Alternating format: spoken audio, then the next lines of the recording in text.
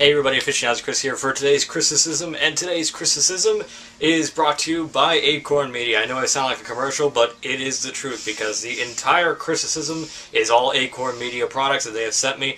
Acorn Media has become one of my favorite companies to work for because everything they make is just top of the line quality. I enjoy everything they do, and they always just treat everything beautifully. They always do the best editions of everything. So let's stop talking. Let's get into what they sent me. First and foremost, a very big product is available right now. It is the Blu-ray release of the original Tinker Tailor Soldier Spy with the great Alec Guinness playing George Smiley. Now, before you ask, I have not seen the recent film adaptation with Gary Oldman, so I can't make that comparison.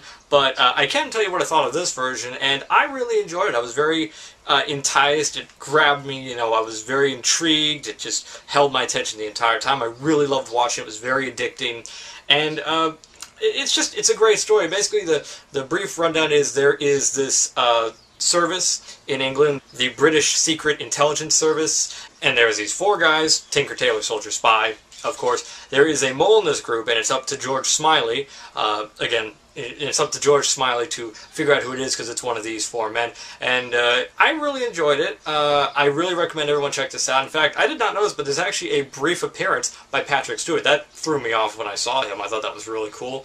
And uh, the big thing about this release is not only is it the first time this has ever been seen in high definition, and by the way, the picture quality looks perfect, but it's also got some brand new bonus features, which include exclusive interview with the director, some deleted scenes, an interview with the original author of the book, some production notes, a glossary of main characters and uh, terms, and a biography of the author. And I definitely recommend you guys pick this up. It's great, and if you saw the film adaptation, definitely try and check out the original version. I really liked it. I think a lot of people will like it, so pick it up. It's available right now. Next up, it's another British miniseries. Now, I've always been a big fan of period pieces. I don't know why, I just always have, but what caught my eye besides that is that this features one of my favorite actors of all time in one of his earliest roles. It is A Women of Substance, the trilogy, which is based on a series of books by the same name. And uh, this has a great list of actors, but the big one for me has to be Liam Neeson, and I love Liam Neeson. Now, this is before Liam Neeson was anything like he is now, you know, just this big uh, movie actor. So uh, if you really want to see Liam Neeson in his prime, check this out. And uh, an essential rundown of the premise is that this woman uh, right here, her name is Emma Harte. It's basically going through her life from servant girl to becoming this very big, important businesswoman.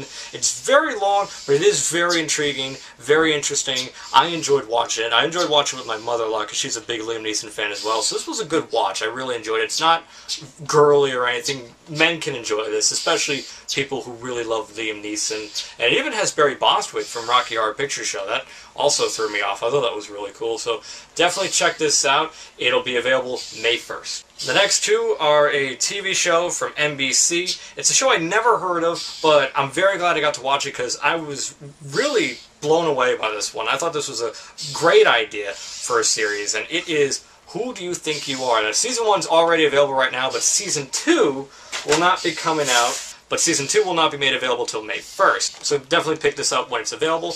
And essentially, uh, the plot of this series is that all these celebrities, uh, people you would know, like in this season we got Rosie O'Donnell, and Steve Buscemi, and Gwyneth Paltrow. Uh, basically what it is is that these celebrities uh, find out their roots. Like they go and, you know, discover what their ancestors were like, to basically figure out who they were in history. It's really, really cool. And uh, a lot of the uh, things that they learn are very, very surprising, if I can say. And uh, you know, while we're on that, season one uh, features actors Matthew Broderick, uh, Sarah Jessica Parker, Susan Sarandon, uh, Brooke Shields, and even Spike Lee. Spike Lee's is probably one of my favorite stories in this series. So definitely pick up both these seasons. They're very affordable and they're really just it's just something, and you gotta check this show out. It's I, I highly recommend it. And it, once again, this is available right now.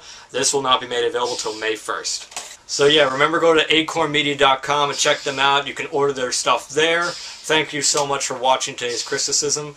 I'm Aficionados Chris, and I hope you enjoyed the video. Bye.